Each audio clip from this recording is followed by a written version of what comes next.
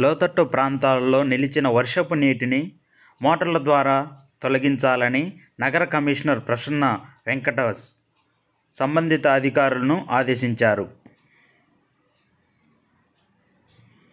నగర పర్యటనలో భాగంగా బుధవారం ఉదయం కమిషనర్ పరమట నిర్మాణ convent road Bharathi Nagar పించిపేట Nizam gate centre Bhavanipuram RTC workshop road తదితర ప్రాంతాల్లో పర్యటించారు.